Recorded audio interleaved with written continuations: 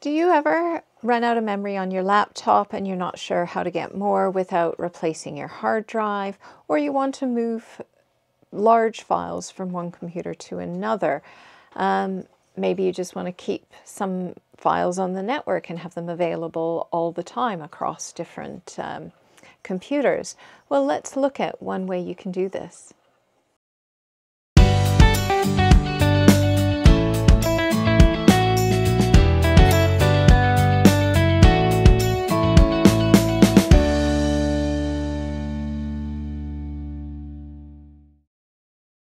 So uh, what I have is one of several that I have in the house, and these are external hard drives.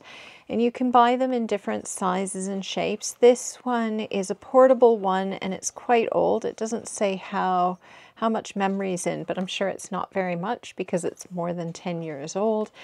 And it just plugs into the laptop. I have a power cable that can go into it as well and then I can put a lot of large files. Now, what I've done in the past is put all of my data files on for training, and then when I go to a client site, I get the IT department to check it, and then I can put whatever I'm training, Excel, Intro, Advanced, whatever course, I can just copy all the files into um, the system there.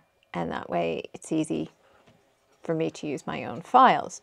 Um, also, what I've done is I've taken it on holiday when I've wanted to put photos on my computer, but photos are quite big because my camera is a, a good camera.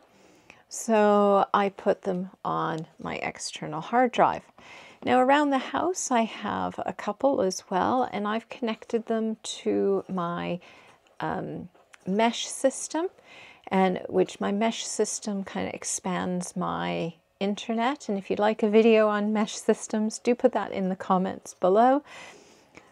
But I've got mine connected to the mesh system and that way on my uh, computer upstairs and my tablet downstairs I can still look at the same files and I put most of my files on those and that way I can just pick them up whenever I need to when I'm working either upstairs or downstairs.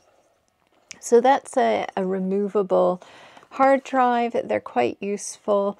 Um, yeah, if you have any questions, put them below in the comments. And if you'd like to see a couple of different models that I've got and I've used, do put that in the comments and I'll do another video on that. If you found this video useful, helpful, or interesting, please do click on that thumbs up and do subscribe to the channel if you'd like to see more. And there should be a video up at the top that you can click on with some more useful gadgets or tips on computers. Thanks so much, and I hope you have a fantastic day. Bye for now.